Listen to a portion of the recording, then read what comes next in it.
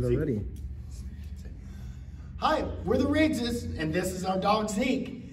Uh, Solomon has had him for a couple of weeks, and before uh, we brought him to Solomon, uh, we were having issues with uh, Zeek um, uh, just going wild every time that a motorcycle or a delivery truck went by.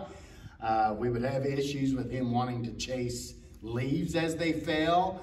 It's just basically a, a, a very, very kind dog with ADHD. and Solomon has uh, uh, get, done a good job of training him. He now comes on command, he sits on command, he heels uh, uh great. Uh, we're looking forward uh, to a long, friendly life with our buddy Zeek here. And Solomon has uh, definitely uh, done a lot to, to help us uh, with his hyperactivity and failure to obey.